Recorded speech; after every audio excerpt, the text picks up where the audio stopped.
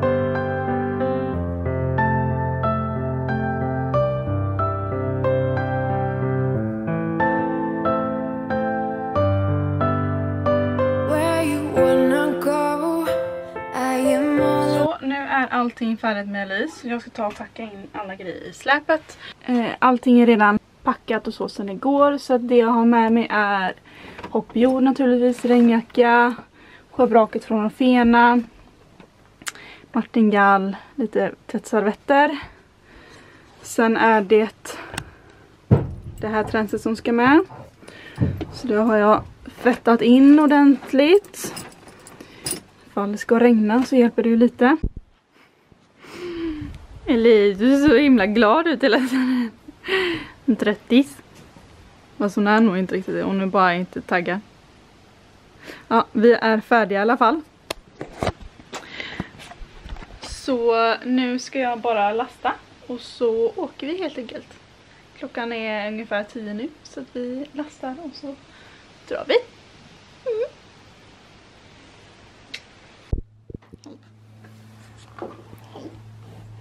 Vill start? Ja.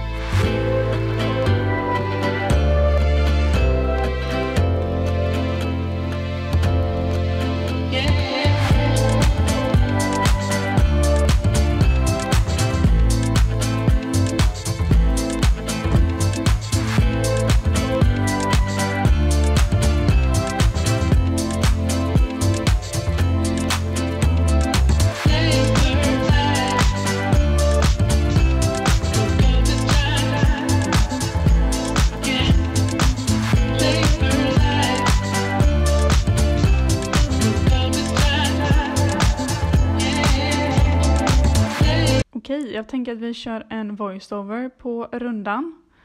Eh, här har vi precis kommit in på banan. Elise tycker att skinkorna är lite läbbiga men hon är väldigt lugn i sig själv nu för tiden så att det händer inte så mycket mer än så här. Utan jag kan faktiskt vända åt andra hållet och eh, trava tillbaka samma väg. Hon blir ju väldigt så rädd för saker, hon är väldigt modig. Så blir hon rädd så vet jag att det är något hon tycker är läbbigt ändå så att hon inte håller på att fjanta sig. Det gör hon verkligen aldrig. Eh, annars så har jag bara lite travar igång lite. Jag var nummer ett i metersrundan. Så här har vi då eh, rundan och jag kommer på nummer ett. Jag tycker att jag börjar plocka lite för tidigt. Jag hade velat vänta lite. Kanske då hade jag kunnat få lite mer flyt till ettan kunnat landa i rätt galopp. Mot tvåan så tycker jag att vi har väldigt bra galopp. Eh, får henne väldigt bra tillbaka och sen så bara fortsätter jag i och rullar på till trean. Sen till fyran så tycker jag att det gick väldigt bra. Vi kom väldigt fint på det hindret, hon hoppade fint. Eh, och mot femman så hade jag velat få tillbaka galoppen lite tidigare men hon lyssnade väldigt bra och liksom, jag hinner rätta upp mig till det. Och sen har vi nästa. Känns också väldigt bra, väldigt enkelt. Och sen på det här hindret då så trycker jag ifrån lite grann. Mm, och det är nog mest för att jag inte har bra galopp i svängen. Och sen rullar det på lite fortare på den här linjen. Um, till sista hindret, nummer nio, så är jag dock väldigt nöjd över att jag faktiskt kommer ner ordentligt i sadeln och sträcker upp mig. Så att vi kommer fint på det sista. Så jag är jättenöjd. Det var ju en superenkel bana men eh, jag är nöjd i och med att vi inte har tränat på länge.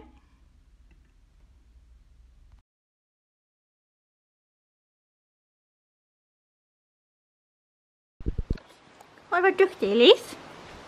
Ja. Sådär.